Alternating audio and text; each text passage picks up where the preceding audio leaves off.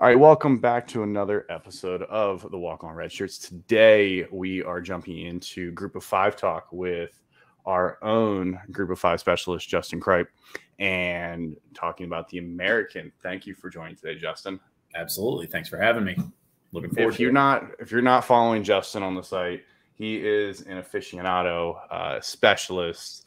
Uh, is somebody who takes a look at the conferences who deserve a little more attention um, does a lot of weekly articles, a lot of posts about the group of five conferences, looks at a lot of their teams, a lot of their players. Um, last year, he did a pretty much a weekly article of uh, good things and bad things that came out of the group of five every week. And I think you're planning on doing something like that again. Yeah, absolutely. G G five thoughts is kind of the, the theme with it. So. Uh, so today we're going to jump in and talk about the American Athletic Conference because you know th- this is a very intriguing conference. Um, you know, looking at the surface level, Cincinnati, Houston, and UCF are all out of the conference. They're all off to the Big Twelve.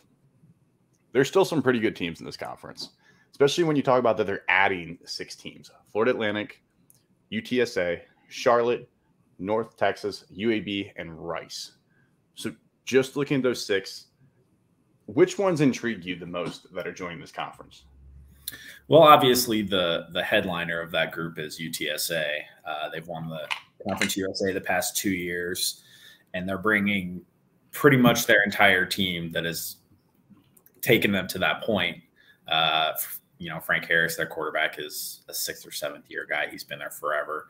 Uh, they have studs all over the offense, and uh, other than Zakhari Franklin, receiver who transferred to Ole Miss, they have pretty much everybody back. So uh, that's a team that's going to immediately come in and be a factor in the AAC. Um, you've got FAU, who is consistently good, but uh, they've hired Tom Herman. They've had some pretty interesting coaches over the last like 10 years. When you look at Lane Kiffin, Willie Taggart, now Tom Herman, they seem like they're almost like the school for rehab. And sometimes it works, sometimes it doesn't in Willie Taggart's case. Yeah, absolutely. Uh, I, am not the biggest Willie Taggart fan in the world, but I'm also admittedly a Florida State fan, so uh, a little biased when it comes to that. Hey, we love bias here. Absolutely. Um, but I believe Tom Herman is going to be a really good hire. He he took a year off actually, and I think I could tell from the media day. I watched a little bit of of FAU's media day. Um, he feels very reinvigorated, re-energized. Uh, FAU obviously kind of has a lot of momentum going because of the success of their basketball program. So that's got some uh, buzz around the, the university. Um, and if that can carry over in any way, shape, or form to the football team, I think they have a chance to be very successful. Um, they're they're able to get in some some transfers. Um, Casey Thompson, former Texas quarterback and Nebraska quarterback, he, he's the guy there this year. Um, they have arguably the best running back in the conference in Larry McCammon. Um, so they've got some talent there. Um, so they're not going to feel out of place by any means in the conference. Yeah, I think FAU is one that intrigues me the most just because it seems like they have had some, I don't want to say incredible season, but they, they've been up a fair amount. Uh, obviously, the Willie Taggart years weren't good, but Lane Kiffin made them an interesting program. They were never anybody that was going to go 10 or 11 wins, but they were making bowl games. UTSA, obviously, this year, incredibly intriguing with Frank Harris being on that team. Uh, I don't know about what the other four are really going to look like, you know, five years from now. Rice has never really seemed to put it together. UAB obviously put the program down, came back. Uh, why am I blanking on their head coach's name? That was Bill uh, Clark. Clark. Bill Clark, you know, brought it back. He took him to a bowl game in the first season. You know, all these programs are in incredibly rich talent areas in the South and the Southeast. So there's no reason that they can't be competitive, especially with the age of the transfer portal. You know, half the guys we're talking about were at Power Five programs at one point or the other, and for whatever reason, now they are uh, in the American Athletic Conference. Um, so one program that has been here for a little bit is Tulane, and Tulane is coming off one of the best Group of Five seasons in the last decade. They beat the Heisman Trophy winner in the Cotton Bowl. They had an incredible comeback. They win in exciting fashion. They return the, Willie Fritz head coach, Michael Pratt comes back. There's a lot of rumors of what was going to happen, and both of them end up back coming back to Tulane. What, looking at Tulane, what do you think they need to do to repeat? It's going to be tough. Um, you know, they they need Michael Pratt to be the version of Michael Pratt that was there last year and not the version from two years ago. Uh, a lot of people forget it was not that long ago that Tulane was two and ten, uh, and things had kind of spiraled. Willie Fritz was on the hot seat. They were they were not an upper echelon team in the AAC. Um, last year, things kind of came together, a little bit of a Tulane magic, um, but I think they really need to sustain that. Um, they've, they've got real positive energy going there.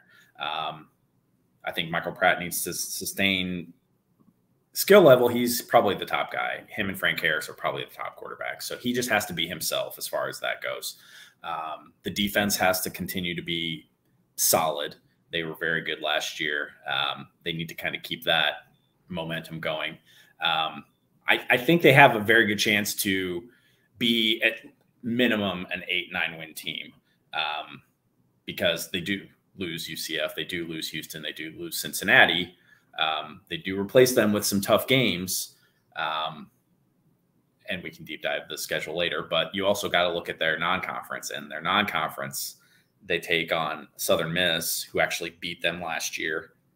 And they actually have South Alabama on their schedule this year, who is probably one of the favorites in the Sun Belt. So um, their their schedule is going to be very difficult. So I think there's a very real chance that they could be as good as they were last year, but the record may not reflect it. Um, I don't think they're going to represent the group of five in a New Year's Six bowl this year. I'll just say that right now. But uh, um, I, I, think I think they have they have the talent returning to s- stay up at the top of the conference, no doubt. Yeah, uh, the they have some big names with Michael Pratt. He started to become a household name in college football. Uh, Willie Fritz, you know, ha- has been there for a little while. So I agree. The schedule is what scares me with them because those three non-conference games to start the year are not easy. Then you know they have a game at Florida Atlantic at the end of the season with UTSA, but I want to kind of dig in those a little bit later. But the schedule scares me a lot with this team. That even like like you said, they they could be a really really good team, but they could get tripped up in teams that are just as good this year. Yeah, I mean, there's a very real chance. It's it's obviously a long shot, but their first three games: home against South Alabama, home against Ole Miss, and then at Southern Miss. They could be one and two.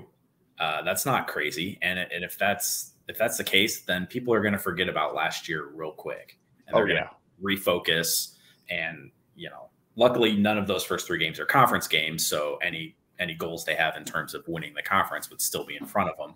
But right now, they've got a, a lot of positive momentum as the representative of the group of five. Um, so, so there's going to be opportunities for them to kind of showcase on behalf of of that level of competition. That Ole Miss game is going to be a huge one. Yeah, so I want want to look at the head coaches in the conference. With all the new teams, there's also seven new head coaches. Some of them are joining the conference and uh, their team at the same time. Some of them were teams already in the conference. Trent Dilfer goes to UAB. Tom Herman goes to FAU. Brian Newberry goes to Navy. Alex Golesh goes to USF. Biff Poggi goes to Charlotte. Eric Morris goes to North Texas and Kevin Wilson goes to Tulsa. Give me one or two of those coaches that you think makes a splash in year one. That doesn't necessarily mean that they're going to win the conference, but maybe a team that you know before the season we're thinking wins three or four games, but all of a sudden they're winning seven or eight. Sure. Uh, well, we touched on Tom Herman a little bit. I, I think that's a, a, home run of a hire. Uh, I think if he if he stays there for an extended period of time, I think he can really build something there. FAU's a brand, and and and that feels like a good marriage. So uh, I think he is the best hire for the short term.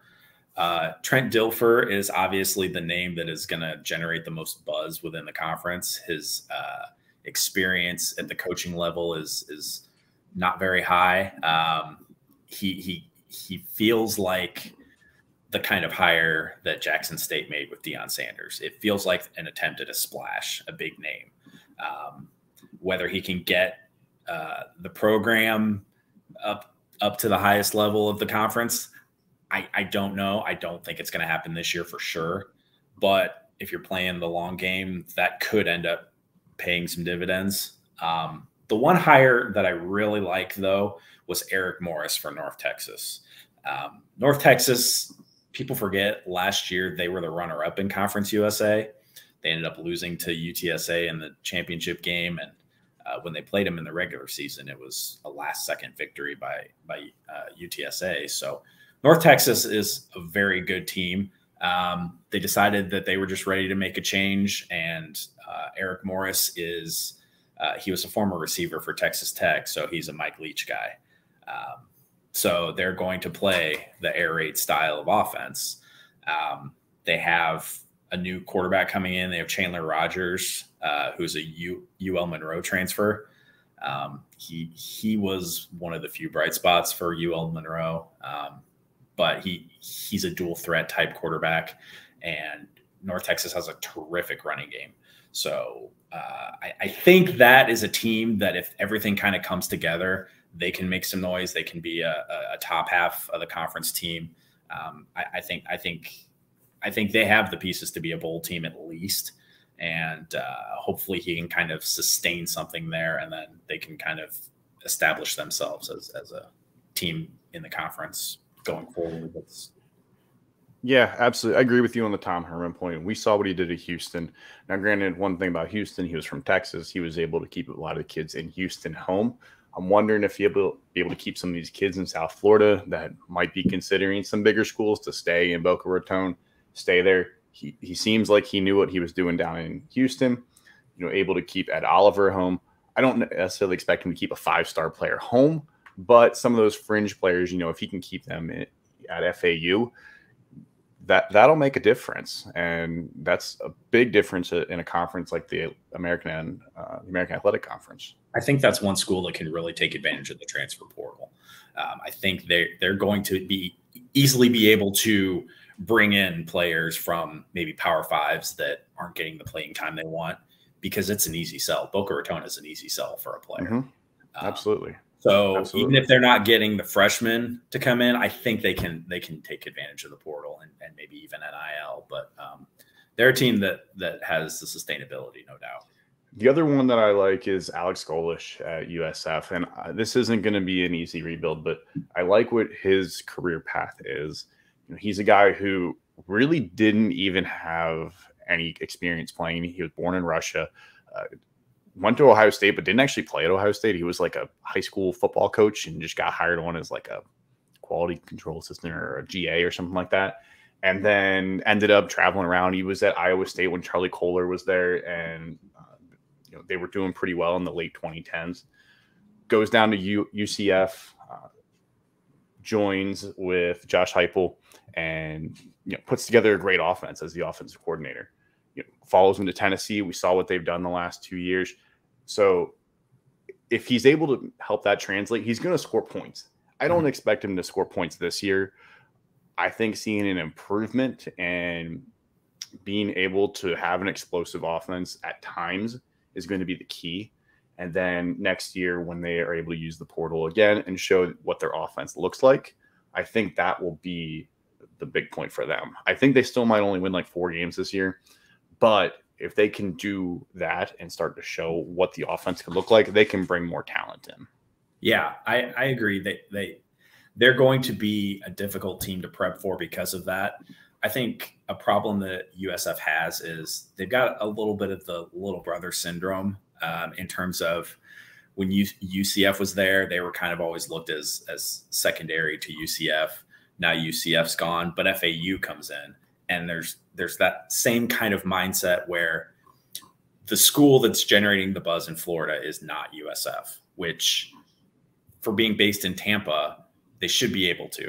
Um, they don't have an on-campus facility. I think that's part of the problem too. So yet, I think they are getting one, which should be huge. Yeah, yeah. When that when when that comes to fruition, that's going to be a big deal. Um, but it's it's going to take some time for everything to come together uh, it's not going to be a, an overnight build. So uh, hopefully Alex can can can build a foundation for that program and, and get it taken off. So let's take a look at some of the the key players in this conference. Uh, so, uh, before we do that, let's let's let's not leave out uh, Charlotte because uh, Biff, Biff Poggi uh, was at the media day. He was feeling a little slighted by teams, uh, by the media, by not asking him enough questions and giving him enough recognition and his team. So uh, I do want to mention him and, and, the Charlotte 49er program. Uh, they do have a quarterback coming in, Jalon Jones, who actually started out at Florida.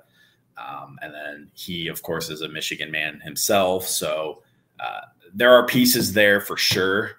Uh, I don't think that is an overnight turnaround, but I think he is in a position, and I think Charlotte is a program that could ultimately be a sleeping giant down the road. That's that's another place that's very easy to recruit to. There's North Carolina talent all over, and the ACC can't get them all. So I think if he can build something there, if he can get you know three, four wins this year and give fans some hope and optimism moving forward, I think that is a program down the road that can that can actually be something in the conference. So, yeah, I could see Charlotte. You're in a major city there, so you can attract talent there. So, I could absolutely see using that to help leverage your ability. He brings in a handful of transfers from large Power Five conferences. He brings in guys from Michigan, Ole Miss, Nebraska, Pitt. So there, there is going to be some talent on that team, but I don't think it'll be enough, like you said. If he can somehow work his way to four or five wins, that's an incredible start to his career. And that and that's kind of one of the things um, with the new look AAC. Their plan was to establish a footprint in larger markets. So, you know, it's easy to say that well, this team is in a big city, so there's no reason they can't be good. Well, a lot of the teams in the conference now are in big cities, so it's kind of a level playing field. But you know, Rice is in Dallas, so theoretically they could get some talent from there. You know, same with Charlotte. Same with UTSA, even UAB, Birmingham, Alabama is a. Please don't forget Temple in Philadelphia. Temple in Philadelphia, same same thing. So please do not um, forget us. No, no, of course, the Mighty Owls. So we got a new logo today. Did you? Yeah, yeah. I'll, I'll make sure to put this out there. I'm still undetermined if I like it or not. Okay.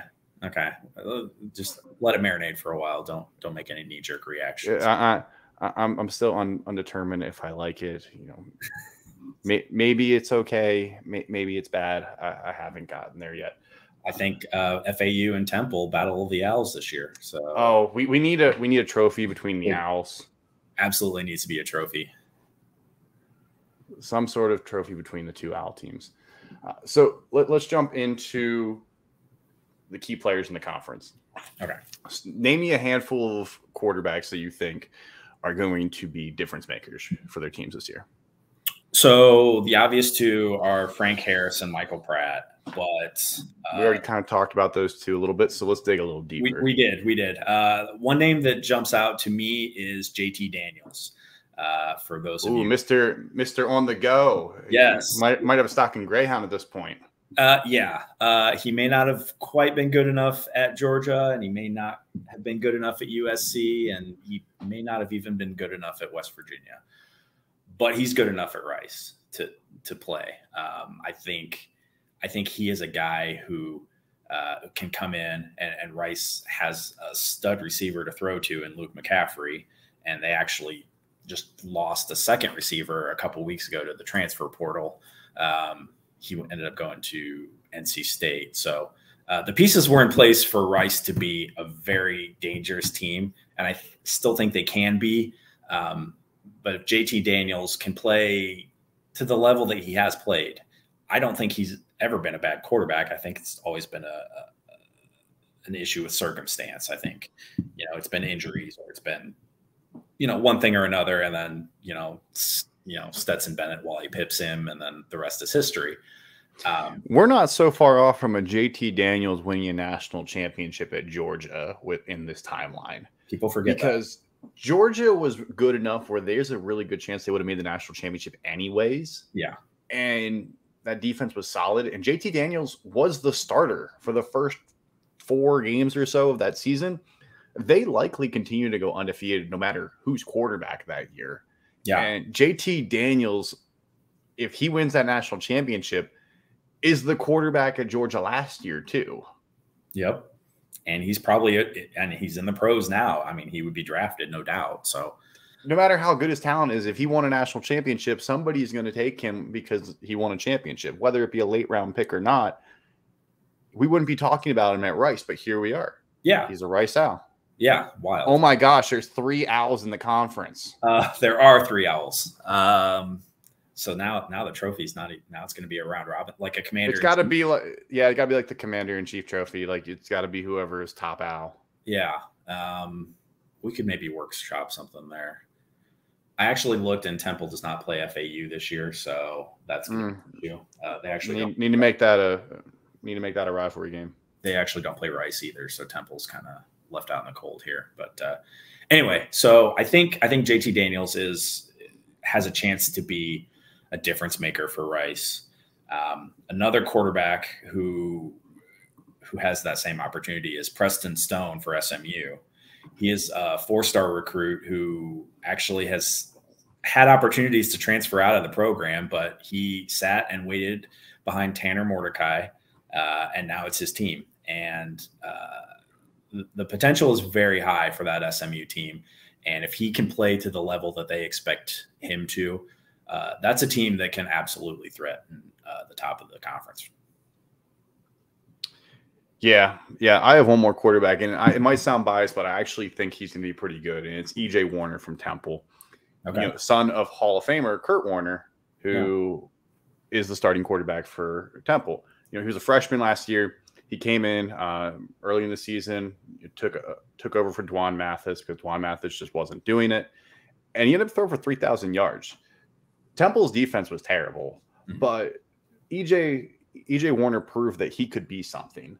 You know, throwing for over three thousand yards as a freshman is pretty hard to do, and he completed over sixty percent of his passes. The main thing is there's not a lot of weapons on this team. No, there are. There are not a lot of weapons, and Stan Drayton's only in year two. I think EJ Warner needs to stick around for another year or so to kind of see it grow. But I do like where EJ Warner is going with this program. Yeah, I agree. I think I think he, the potential is there for Warner to be uh, one of the top tier quarterbacks down the road. I do think he's probably a year away from from that status. Uh, maybe once once Pratt and Harris and kind of the the names are gone, uh, and he's still there, assuming he doesn't transfer out. Uh, he's got a chance, and if the young talent can develop um, down the road, I think Temple has a chance to be something. I just I just don't think this year's that time. Absolutely. So there are a couple other players that we have on our list here. Tell me a couple other people you want to touch on as key players in this conference. Uh, one name we haven't talked a ton of defense. Um, one name that jumps out, I think, one of the better players uh, is Rashad Wisdom. He's a safety for UTSA uh, another guy who's been there, been in the program three or four years. He actually had an injury last year, so he's recovering from a leg injury. Um, but he he was on the I think the Nagurski list came out today, and he was on that as one of the top defensive players in the nation. Um, he's definitely the the the leader for that defense. Um, I think he's someone who can definitely be a standout. And if you notice in the NFL, you're starting to see some UTSA names pop up in, especially in the secondary. Uh, Tariq Woolen is a name that uh, may ring a bell to a lot of people. He's a cornerback for the Seahawks, and he's he's I think he was on the NFL Top 100 list that came out earlier this month. But anyways, uh, UTSA is getting those guys who who are going to be pros, and Rashad Wisdom, in my opinion, is one of those guys. So uh, he's definitely someone to look out for. Um, Another name, I think I mentioned him a little bit earlier, but if you're looking for a running back, Larry McCammon is uh, the running back for FAU. He's he's a he's been there for a couple years. He's an established guy. Uh, I think he can definitely be a difference maker. Jermaine Brown is another running back. He's in UAB. He's replacing uh, DeWayne McBride, who got drafted, but they were kind of a one-two combo the past couple of years. So he's he's a name that's been there. So for him to step in and be the guy this year is going to be key for UAB to to make some noise in the conference. Yeah, I think one other offensive player uh, is wide receiver Joshua Cephas from UTSA. Uh, he is one of Frank Harris's go-to guys. Uh, just short of a thousand yards last year. Uh, I think he was in the upper 70s in catches, or he actually had 87 catches and six touchdowns last year. So gets looked at a lot. You know, just having that chemistry, you know, for another season. These guys are going to be a match made in heaven again this year. If you're yeah. looking for an exciting connection, UTSA, look for Frank Harris and Joshua Cephas. I would have fully anticipated that Cephas is going to go over a thousand yards this year. Oh, no doubt. And and if uh, DeCorian Clark, he got hurt last at the end of last year. Also, if he's back and healthy, that one-two combination is probably bar none the best duo in the conference, uh, if not all of the group of five. Um, but there's some arguments that can be made elsewhere. But uh, um, yeah, the funny thing about the conference really is that a lot of the skill players, a lot of the top skill players, are from the teams that are moving in. Um, if you if you look at the ACC and the the AAC and the teams that are left over, a lot of them are having down years. Um, Memphis is a little bit down. Uh, East Carolina lost Keaton Mitchell and Holton from last year, so I think they're going to be down. Navy's a little down. So there's opportunities for the newcomers to kind of come in and make an impact right away. So you're seeing a lot of those teams bringing a lot of returning talent into this conference because they see the opportunity that they can make. So um, I think I think the newcomers are are are the teams to watch. I really do. So the only other player I wanted to mention is we'll give Biff Poggi one more moment here. Sure. Is uh, Eyabi Okie who comes in from Michigan, who is also one of the top five players in the country when he's at Alabama, has bounced around to his fifth program now. But he was able to play at Michigan and he had a, registered a handful of sacks in the Big Ten. So if he's able to get through Big Ten offensive lines, I have no doubt that he should be able to be a player for that Charlotte defense. He's not going to be a game changer. He's not going to be a game wrecker. But when the season comes, don't be surprised if you come back and he has seven sacks on the season yeah. because, you know, he helps one or two games, um, you know, helps keep him close, gets a couple key sacks. Like I said, he's not going to be any bit of all American. He might not even be all conference. I just think that he has the talent to help Charlotte look like a legitimate team in the first year. Yeah, yeah, no doubt. Um, it, it, it really is hard to understand why people are so down on Charlotte because they are bringing in players. Uh, they're they're you know like you said, he's got a chance. He's played at the highest level. Um, he's he's going to make an impact. They they've got transfers from Power Fives all over the place. So that's a team that they really just need the chemistry. Um, there's talent there, no doubt. Um, it's just a matter of if it all comes together or not for, for a team like Charlotte. Absolutely, absolutely.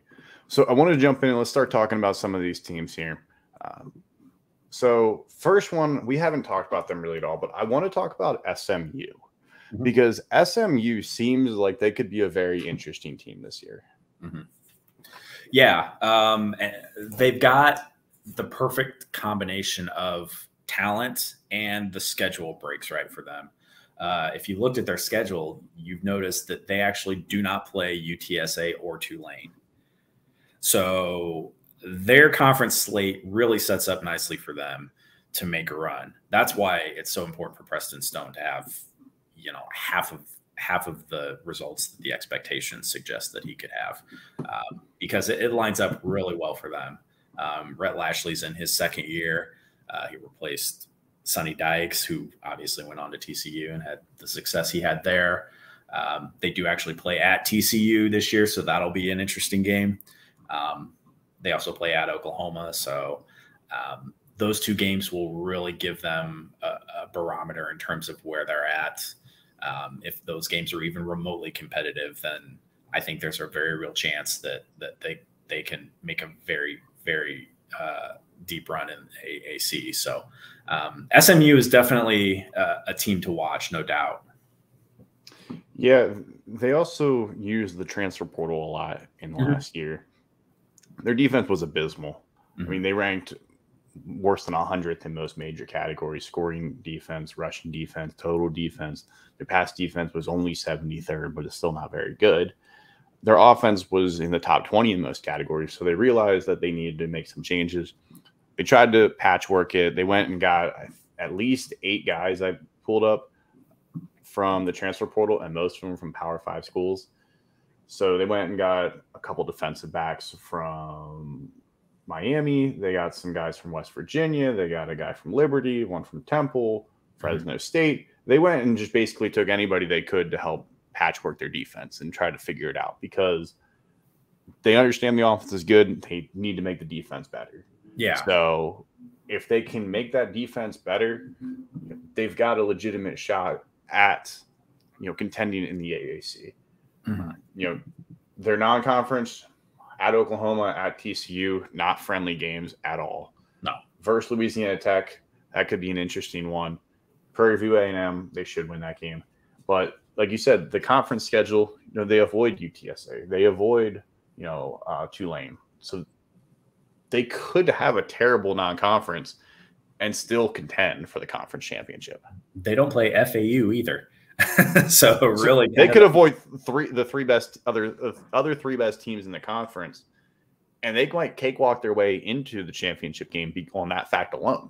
Yeah, yeah, no doubt. Um, everything sets up really well for them.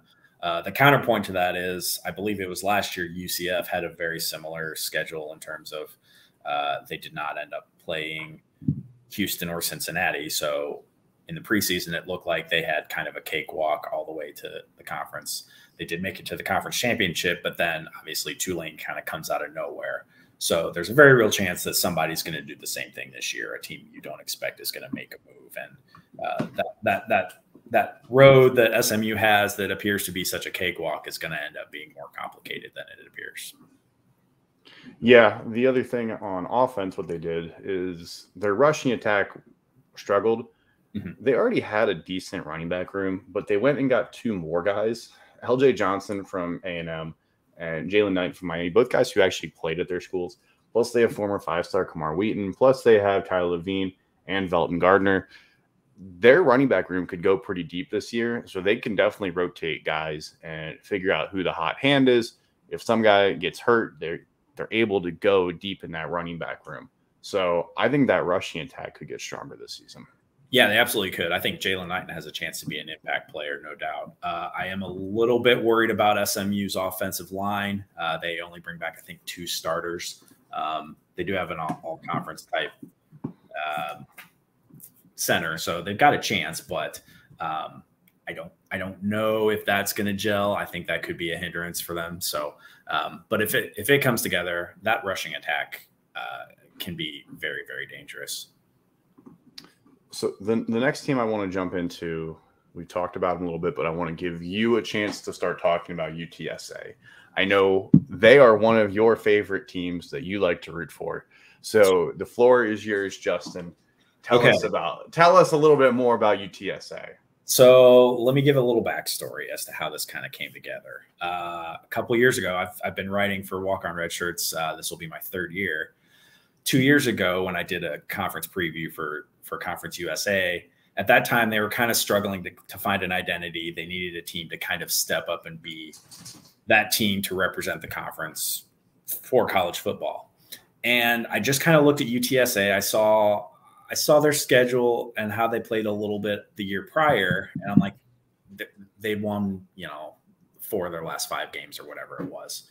So I just kind of looked and I'm like, okay, they, they've got something here. Uh, they've got the resources. They've got they've got the market. San Antonio. Uh, why can't this be that team? So I just kind of put put it out there that you know this team's got a chance. And I remember the way their schedule lined up in 2021, and I'm like, you know what? This team can make a run.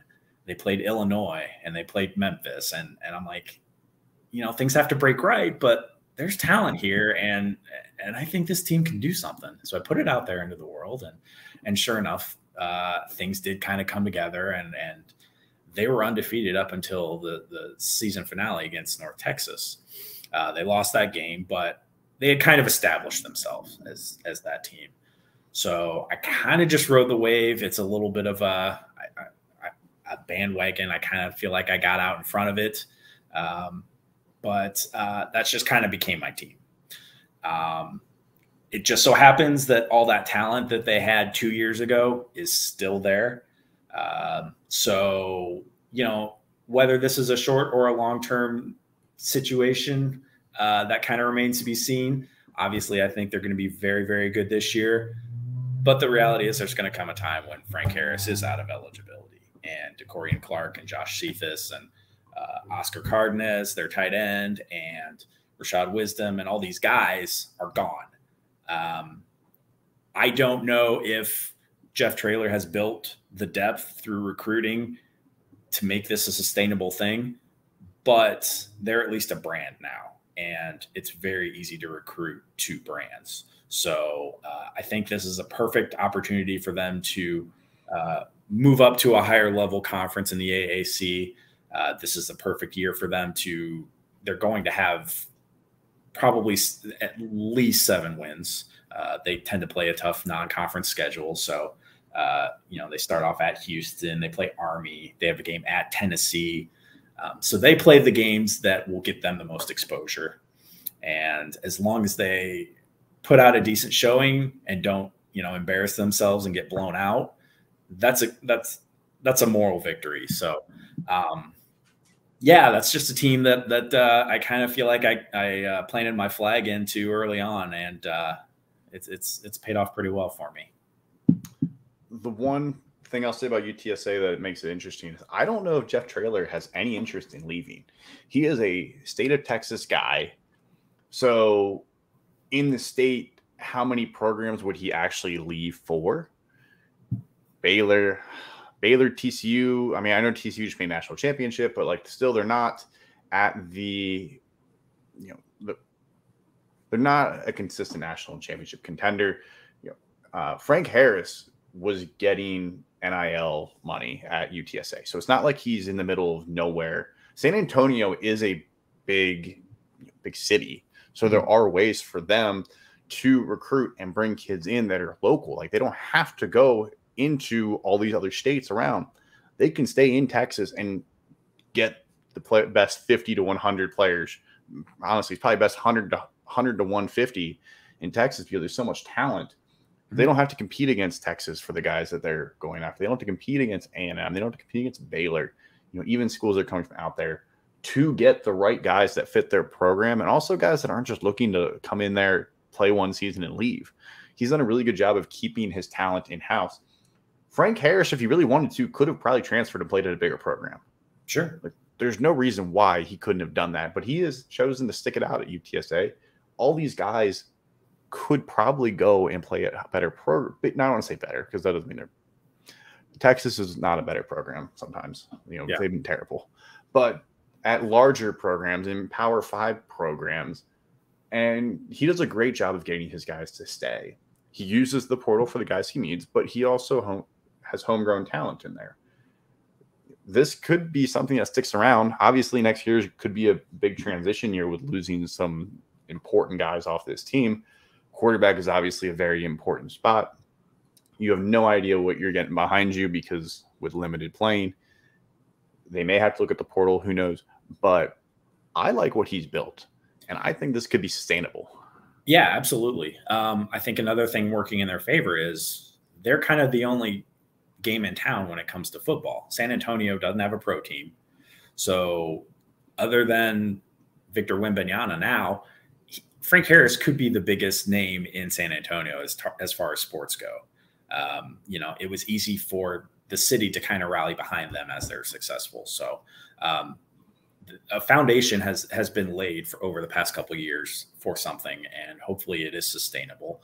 Um, you mentioned Jeff Traylor, uh, and you mentioned all those schools that he could potentially leave for.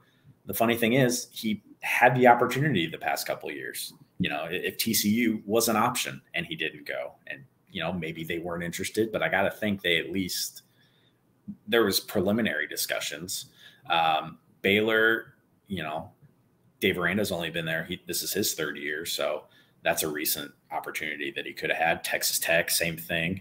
Joey McGuire's in his second year. That job would have been a perfect fit for him, but he he would rather stay at UTSA. So um, I think you're right. I think he is there for the long haul. So I think I think there's uh, with that in mind, there is a very real opportunity for that program to be at the top of that conference for the foreseeable future.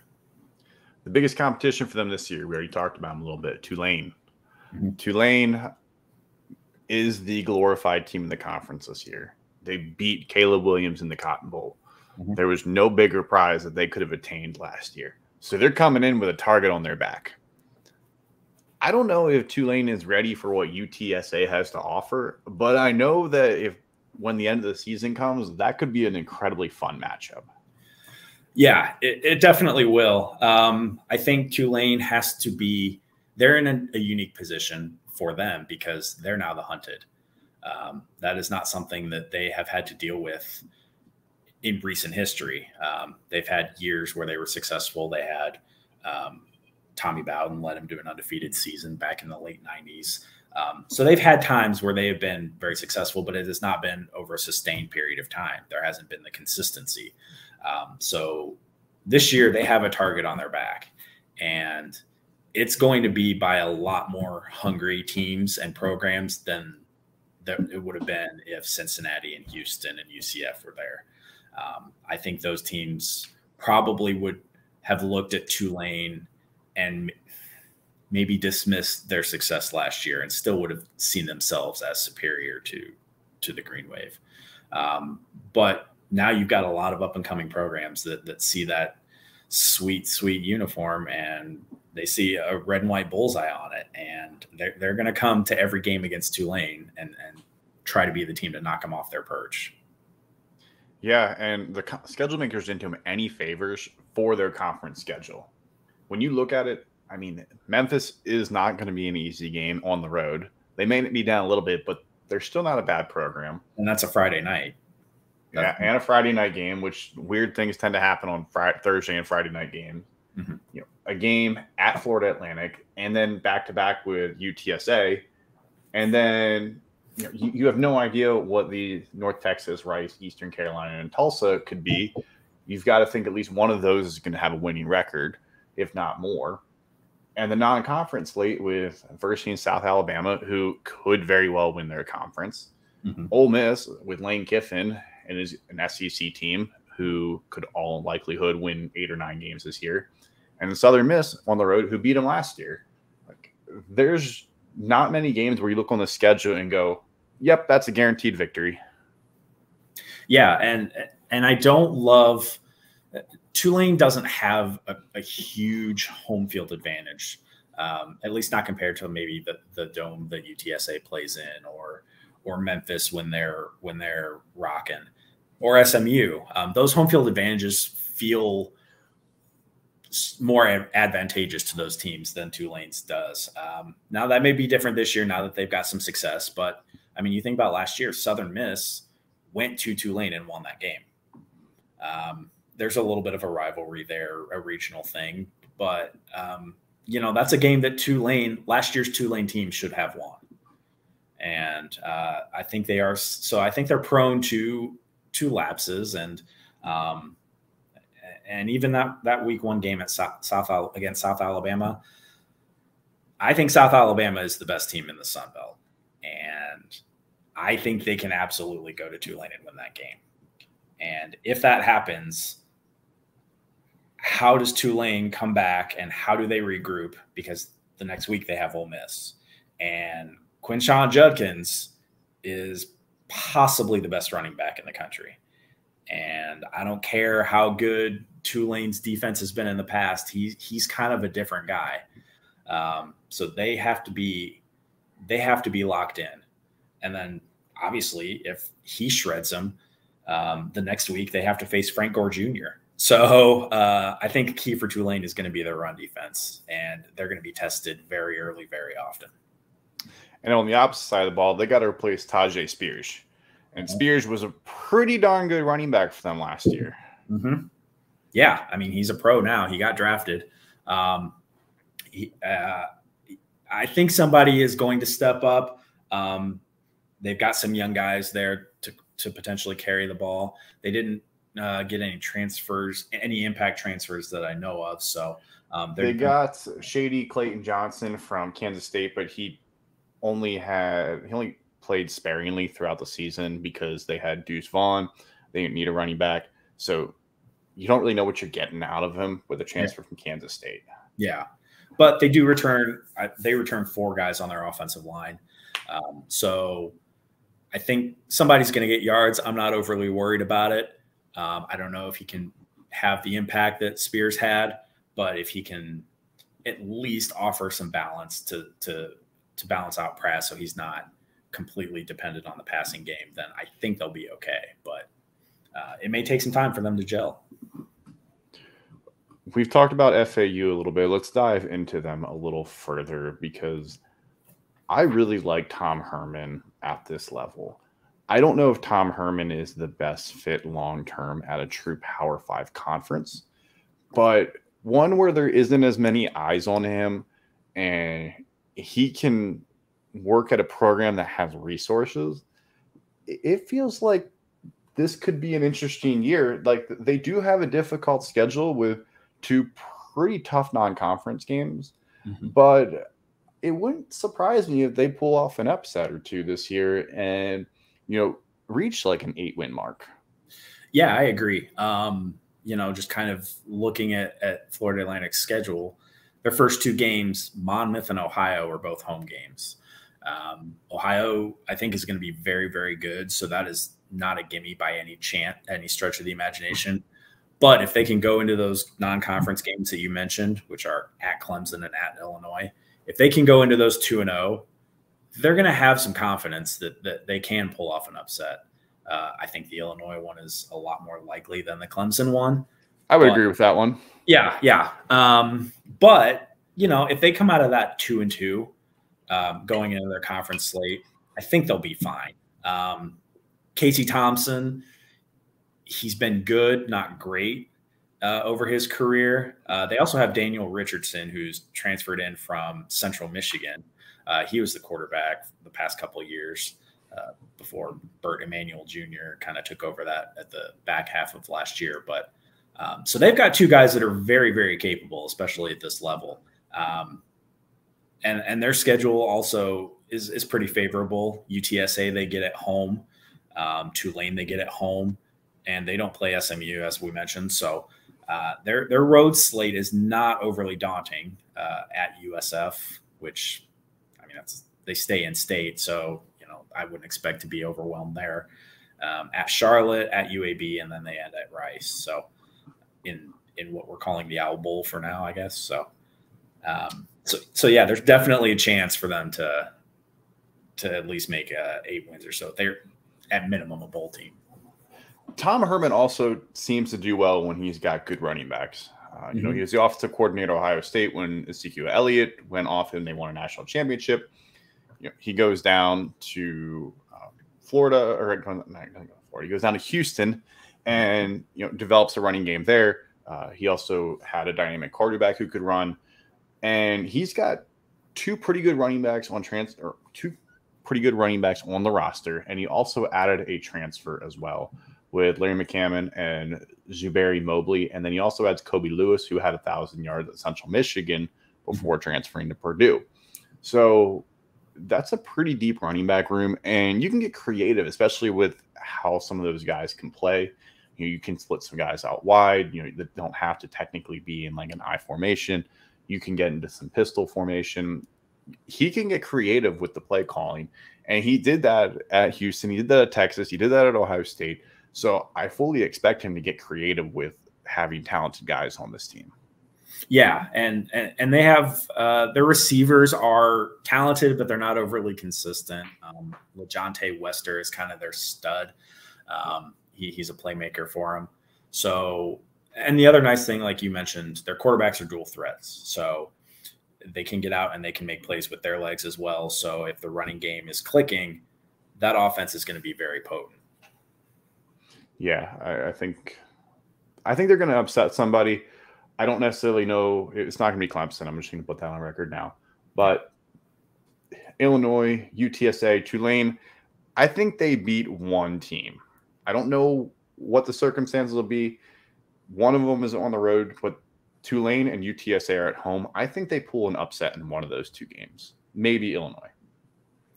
I, I would not be surprised if they beat Illinois either. Um, I'm not overly high on Illinois um, just because they got a new coach. They're breaking in some kind of some new their players on offense. You know, Luke Altmyer's our quarterback. I don't know. You probably covered all that in the Big Ten preview, so I'm not. Yeah, they're Illinois is an interesting program this year. I'm not really sure what to make of them. They could make the Big Ten West championship, but they'd make it like nine and three. They mm-hmm. also could go seven and five. They could go six and six. They got a good defense. Nobody really knows what Luke Altmyer is because he never really played at Auburn or Ole Miss. Never mm-hmm. really played there. They're facing a running back of Chase Brown. Their defense should still be good, but like they're going to average like 17 points a game. So they're going to win a bunch of games at like 17 to 14. So if Tom Herman can figure out a way to make this offense roll, he could certainly beat Illinois the, the problem with FAU, and it's the same problem that a lot of teams at this level in this conference have, is there's no dominant defenses. There's no teams on defense that can stand up to Power Five level defenses. The physicality of it specifically. So um, FAU can probably get manhandled pretty good on that side of the ball. So that's going to be a problem.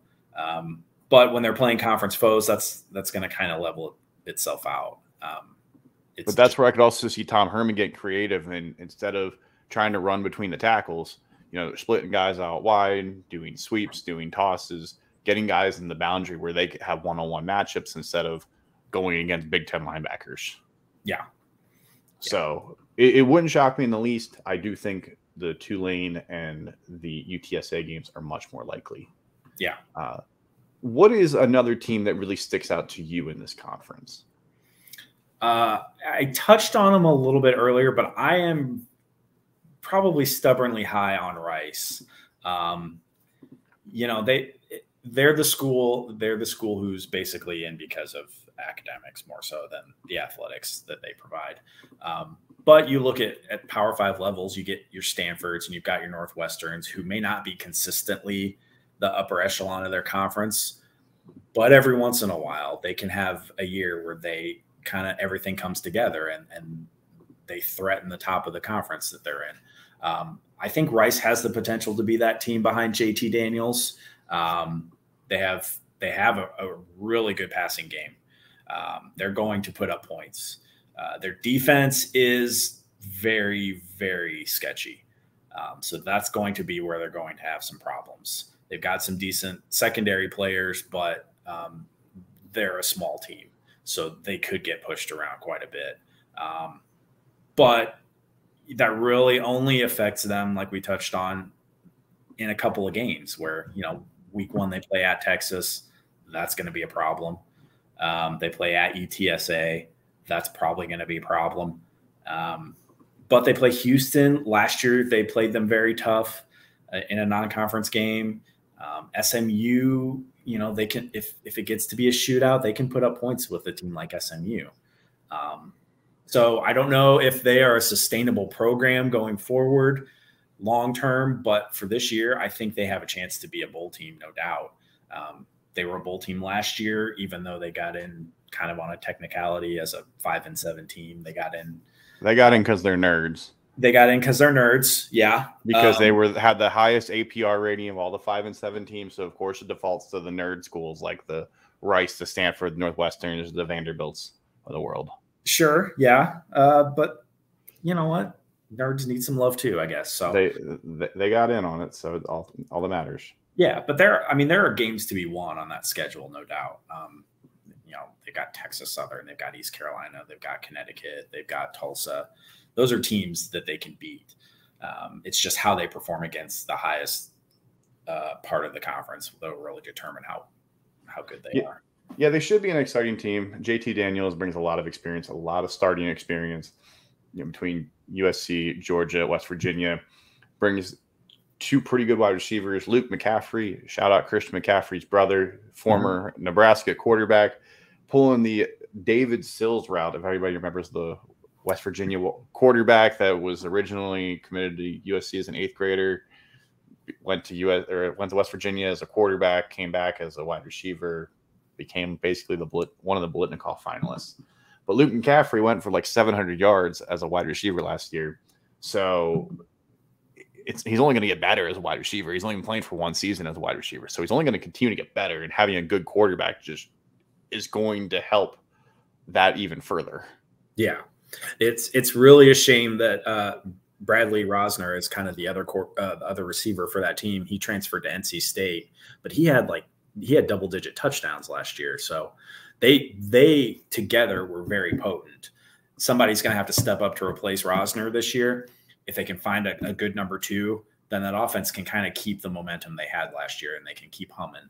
So it's it's going to be important to find that guy. Um, but if they do, I think that team really has a chance to make some noise. Yeah, absolutely, absolutely. And there's another team we haven't actually talked about. We haven't talked the about Temple Owls.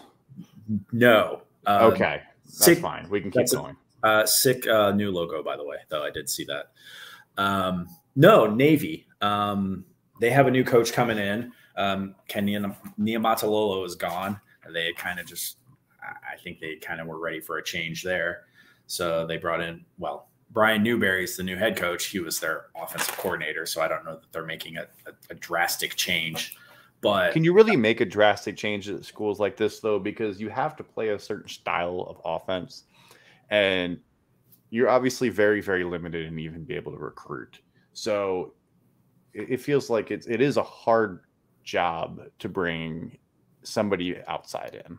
You're right. I think though the one thing that is in their favor is those new teams that are coming in are not going to be used to the triple option. So I do think that they have a chance to benefit the most from the six new teams because they're a tough team to prepare for. And, you know, North Texas has never seen Navy, or at least not in recent memory. Um, even a team like FAU, that's that game is going to wear on them. And Navy, whether they have the guys or not, they have the style of offense that can be punishing. So um, I think they do benefit from the possibility of some new blood in the conference um, they may be a team that that uh, wins some games that maybe they wouldn't have won last year as a result. So uh, that is a team that has possibility to, to to get close to bowl eligibility. And of course, they play Air Force and Army and and those rivalries too. So.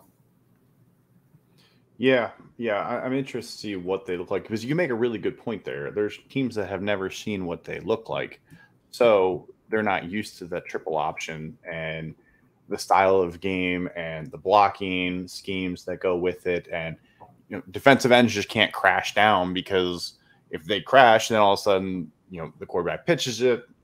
There's seven other guys that can get the ball. You just never know what it's going to be. And it's truly assignment football. And if some of these defenses aren't ready for that, then certainly they can pull an upset, especially because it's all about ball control. If Navy takes the ball for a nine minute drive, that's nine minutes that another team doesn't have the ball. Mm-hmm.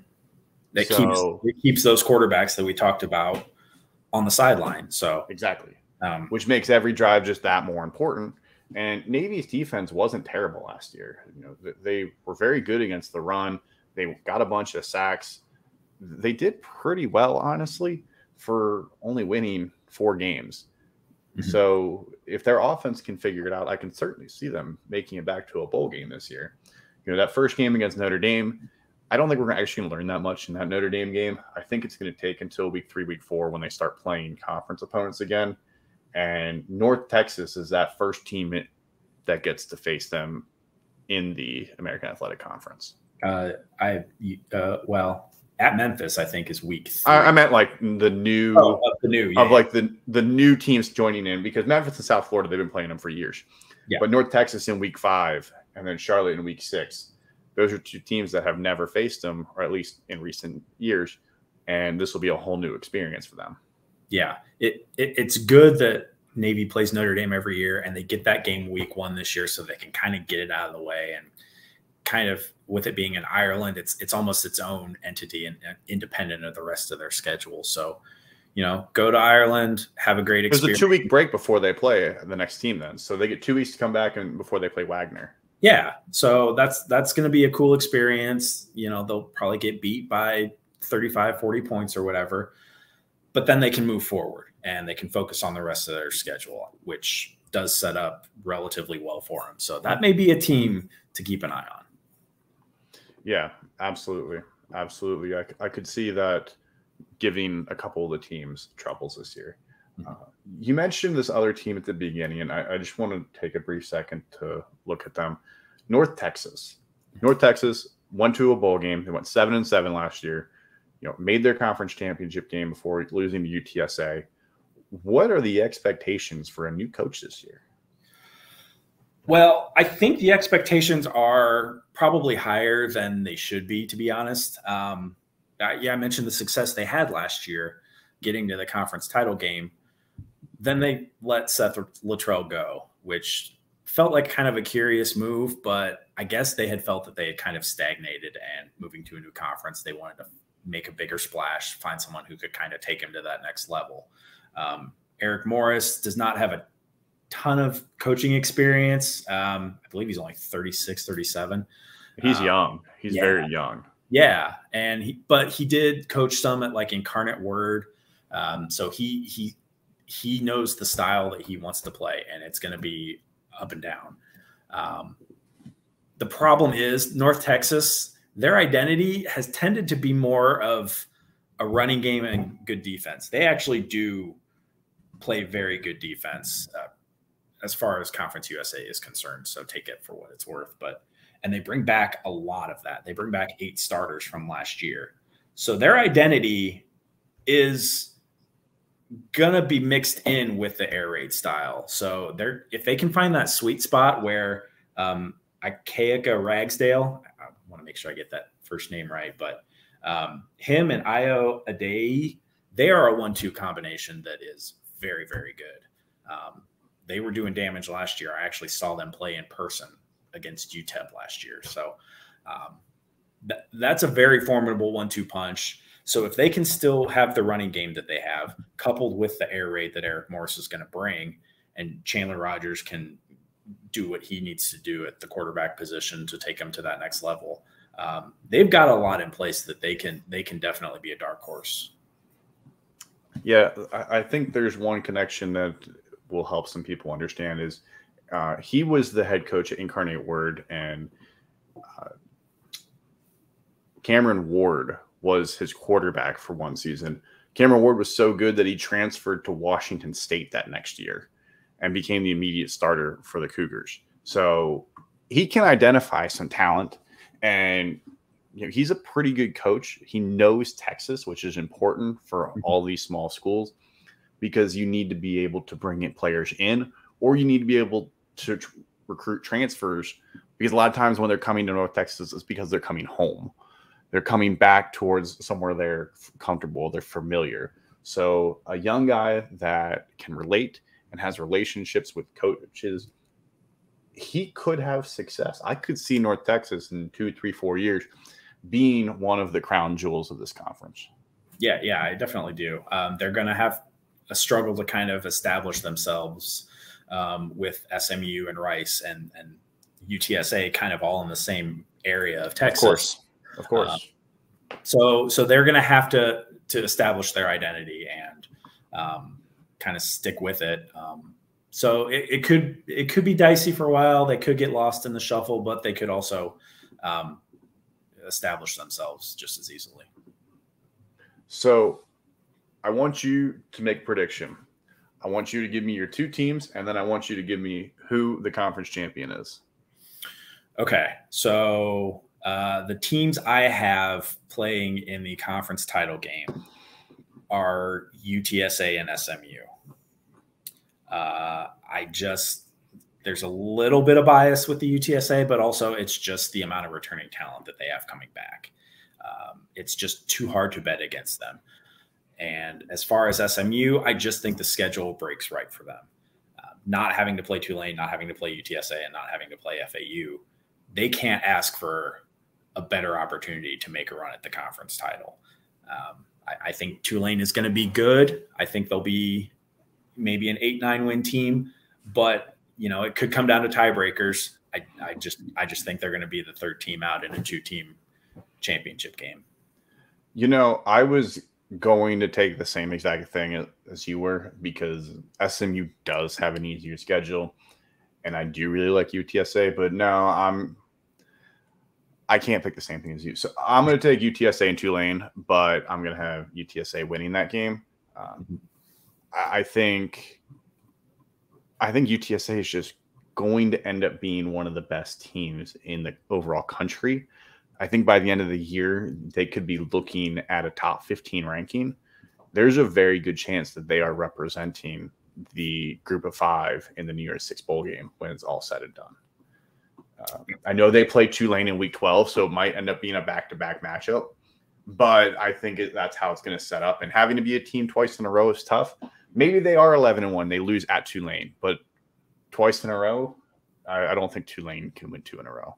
Yeah, I think I think that game at Tennessee, I, I don't, I'm not predicting UTSA to beat Tennessee. So everyone slow their roll. But I think a decent showing in that game, which will probably be a nationally televised game, will get enough eyes on them that they can kind of stake their claim in the conference. And if they do uh, kind of, I don't know if they're going to run the table or not, but if they do get on a roll going into that Tulane game, um, there's going to be a lot of buzz about them. So, um, I think I think uh, UTSA this is their year.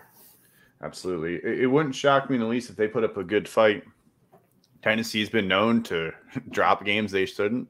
They lost to Georgia Southern or Georgia State or one of those Georgia programs. They lost to BYU in the mid right when BYU wasn't very good either. That this it, it could happen. Tennessee is getting a little bit of a rebuild. Nobody's really sure what Joe Milton's got, but they definitely are going to have more talent, but it wouldn't shock me if Tennessee isn't ready for this game either. I don't know who they've got before, but it wouldn't shock me if they're not ready for UTSA because they've never really heard of them, paid attention to them, not knowing that they've got a seventh year quarterback coming in. Yeah. And and there's going to be a lot of orange in that stadium. It's just going to be two different shades of it. So oh, yeah. I, I think that that that's going to be one of the games I'm most looking forward to this year. Absolutely. Absolutely. Well, Justin, appreciate you coming on. Thought that you gave some great insight. You're definitely going to have everybody tuned into the AAC. Everybody's going to be joining the UTSA bandwagon because of you. Hop on board. Hop on. I'll save you all a seat. So perfect. Well, that's been another episode of the Walk On Red Shirts. Make sure to like, subscribe everything that you can do on a podcasting platform. Leave comments, leave feedback. Let us know what you want to hear in future. Thanks again. You bet.